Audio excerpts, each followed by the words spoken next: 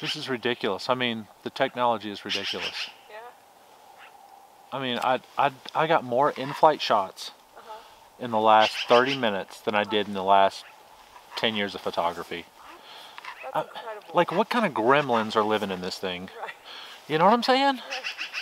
It's like, it's gotten unfair. It's gotten, I don't even consider, I mean, it's, it's like the skill, Uh-huh.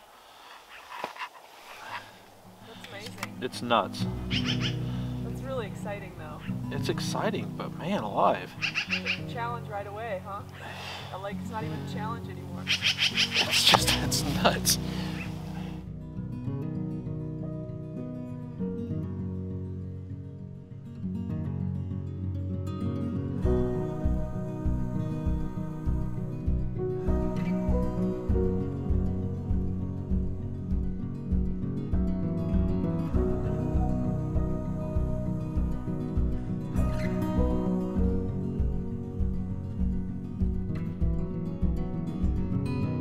Hello, friends, and welcome the Nikon Z9.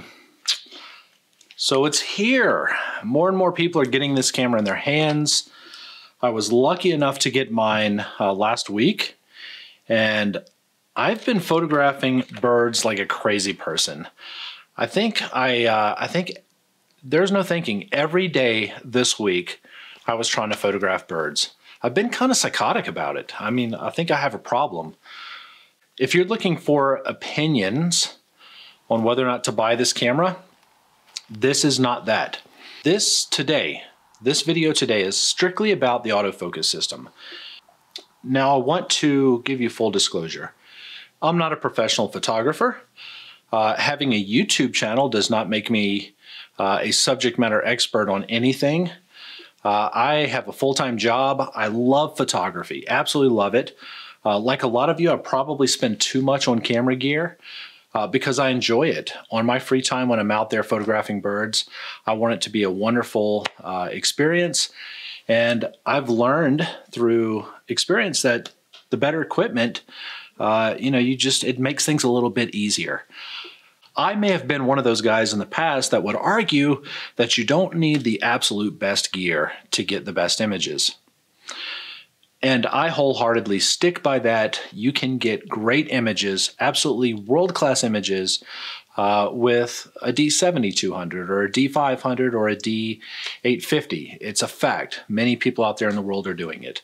Uh, so, this Nikon Z9, I promise you, is not going to you're not going to notice that your images are world class better than if you have a Nikon D850.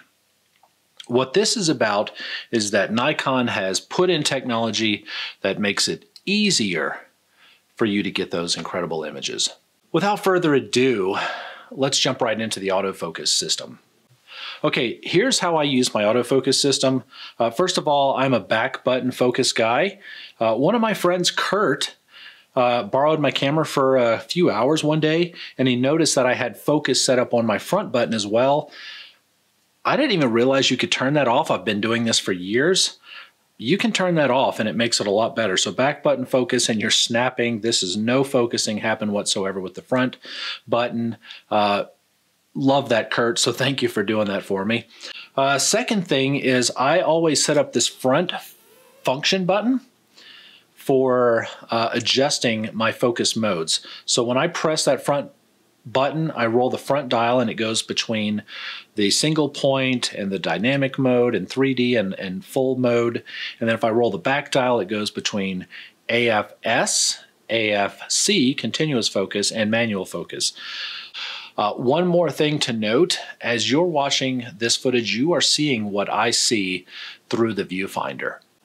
That's not always pretty. A lot of shaking sometimes, a lot of me adjusting my arms and and against my body to get better stabilized. But more importantly, it's to show the autofocus mode and what it's doing and how it's grabbing. Bottom line, I didn't clean up the footage to get rid of any of the shake, um, which is another way for me saying I'm sorry for some of the shaky footage. All right, so let's talk about these autofocus modes. The first one is something you've seen from every camera from uh, the D30 3000 all the way up, and that is a single point autofocus mode, which does exactly what you think it does. Um, you put it on the point, you press the button, and it focuses on it. Uh, then they have a series of three dynamic modes. Uh, they've got a small, medium, and large dynamic mode. If you're familiar with the D500 or the D 850 or the D5 or the D6. Uh, you'll remember these, and I would say that this was the best way to track birds in flight. You would use that dynamic AF mode. I did not use any of those modes the entire day. I didn't even use the small area autofocus mode, which is a small box that you can put on the subject. And if there's an eye, it will track it. But you got to keep the box on the subject for that to work. I didn't use the larger AF mode, which does exactly what the small AF does. You got to keep the box on the subject for it to stay in subject. I exclusively used the autofocus 3D mode and the autofocus full mode, all of which have the animal eye detection, face eye detection, and the automatic uh, detection of cars or whatever the subject is in the scene. So let's talk about the 3D mode first. Uh, this is the mode that I found myself going to as a default most of the time. Photographing birds, they're not always out in the open where you can just grab them immediately. Uh, you'll find them in the bushes, kind of tucked in behind trees. And I found that this mode is very convenient in taking that, it's like using a single point focus mode, putting it on the subject, and then recomposing your shot to be able to get your image. Great for focusing through limbs, great for focusing in some kind of weird lighting conditions. Worked fantastic.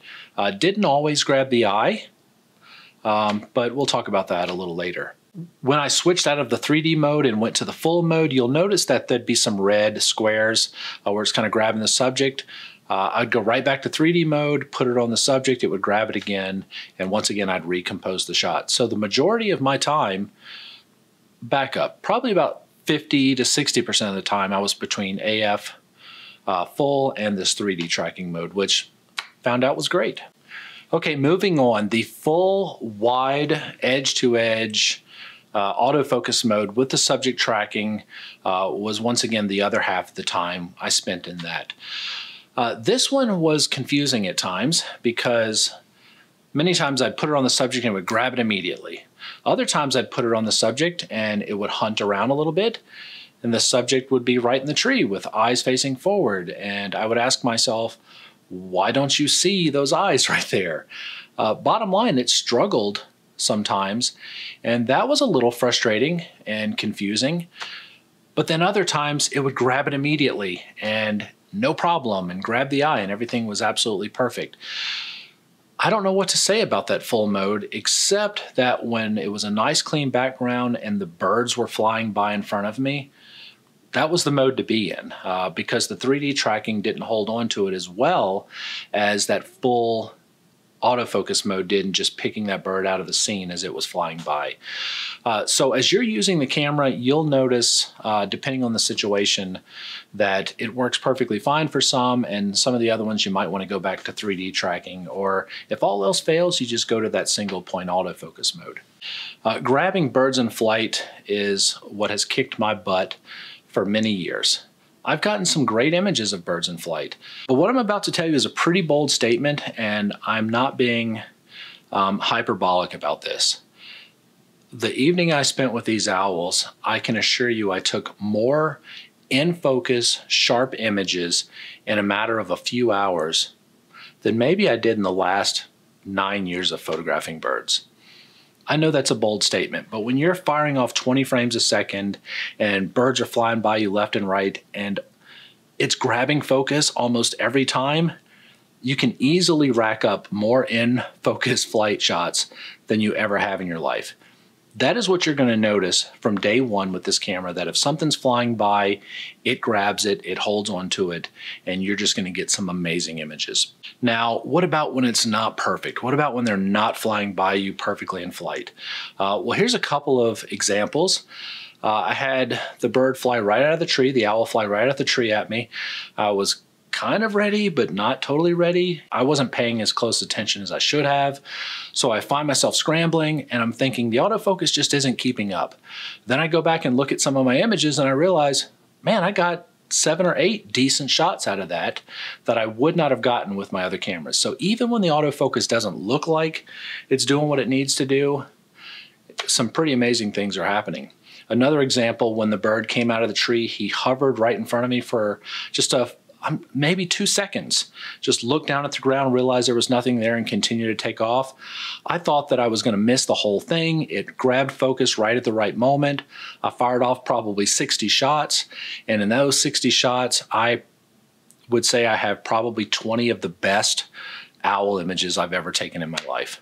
Uh, so, big win for the Z9. Another wonderful thing about these hybrid cameras is that when you're photographing birds and you want to switch to video, uh, you just flip that switch right there over to the video mode. It immediately goes into the new AF full. It's not new, it's been around with all the mirrorless.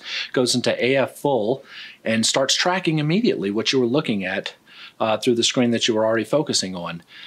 I don't press any buttons with AF full. It's automatically tracking it. All I'm doing is moving the camera to try to keep up with it you know, of course, depending on the background, it might hunt a little bit, uh, but it does a pretty good job, and I can't wait to try this in different circumstances as well. This is going to be a beautiful tool to have out in the field. I've argued in the past that you can take great images. Uh, you absolutely can take great images with average gear. I've taken some bad images with this one, but this is going to make your life easier, guys.